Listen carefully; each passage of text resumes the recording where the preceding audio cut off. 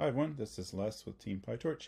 Uh, today we're going to go over um, FSDP and its available sharding strategies. So to get started, as usual, I've got a notebook here with some code excerpts to sort of show you everything. Uh, this one will be short and sweet, uh, but I think very informative in terms of optimizing your training with FSDP because it'll give you a number of different options. Um, so first thing, we'll verify the version. I'm running with the July 11th uh, nightlies and getting into the specifics of FSDP and the sharding strategies. So there's actually three available sharding strategies. There's a fourth on the way, which we'll cover just briefly.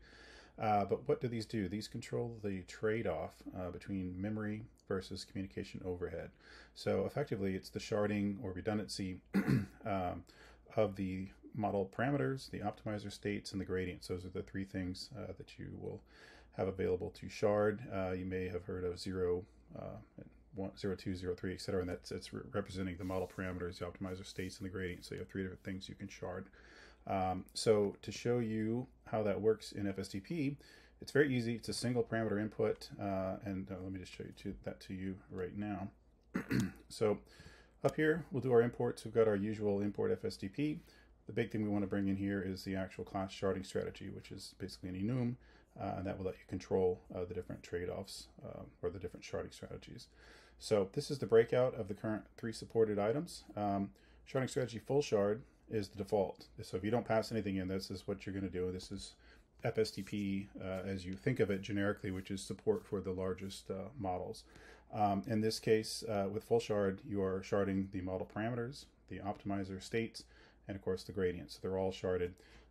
and as a result, you have the, also the most amount of communication, but you have the best uh, availability of memory because there, there's basically minimal redundancy between GPUs. Um, the in-between mode is what we'll call 02, but specifically in the enum it's shard grad op, standing for the fact that you're going to shard uh, the gradients and the optimizers. The difference is the model parameters will be held on to longer. So after the forward pass, you would not do not free uh, the model parameters, rather they stay around and they're only freed after the backwards pass. So you will have an increase in total memory, uh, but you'll have a reduction in communication overhead because you don't need to do that second all gather on the backwards pass. Um, and finally, the um, no shard option is basically DDP. And so this is one of the really nice things with the sharding strategy.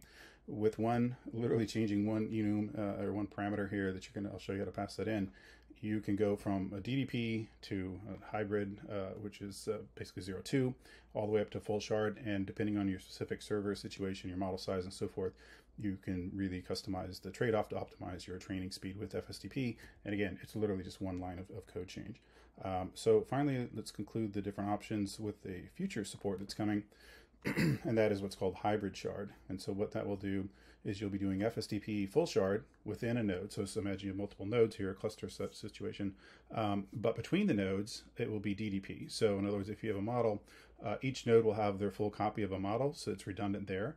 Um, but within the node, the GPUs or whatever that are inside that, uh, the model will be sharded with FSDP. So it's basically taking advantage of the fact that you have very high um, speed communication within a node generally, and your weakest link in terms of communication is generally between nodes. So this will optimize that, and that will be a very uh, exciting addition um, that's coming out uh, later this year.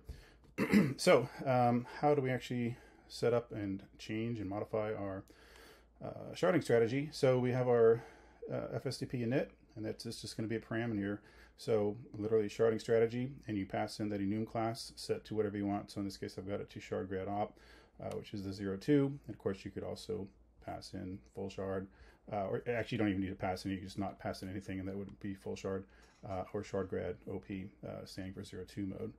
So um, that's how all there is to, to, doing it. So again, it's just literally uh, one parameter change, and you can flip between all these different um, sharding strategies, which will give you uh, different optimizations in terms of memory, uh, and that will afford or help maximize the model size and trade off with uh, the network and communication overhead.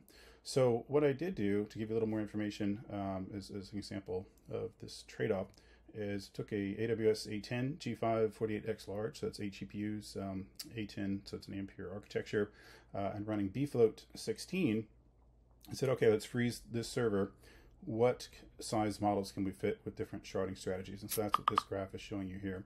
Uh, so DDP, uh, which is again the entire model is being replicated on every GPU, so no surprise that's actually going to afford you the least amount of uh, total model size that you can fit.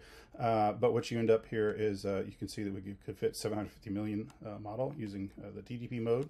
We went into 0, 2, so we're going to shard out um, the gradient and the optimizer um, and then keep some of the model parameters around for longer.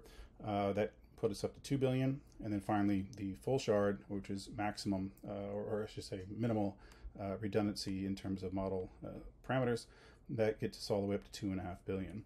Um, here's a few more details on that. So we've got our model size, again, on SATIPS A10. Uh, you can see the batch size ended up being very comparable, uh, 15, 16, and 18. Uh, the GPU utilization was basically right around 93% for all models, so put it on very even comparison and then the actual relative increase. So with DDP being a base of 1, we had 0.2, got us up to effectively 2.67 times larger model.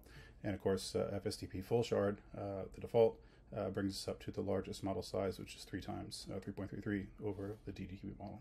DDP model, excuse me. So um, hope that helps. Uh, again, so a best practice for using this is, is depending on your model size, your server resources, and of course your network speed, uh, you can basically uh, work with these different sharding strategies to maximize your training throughput. So hope that helps.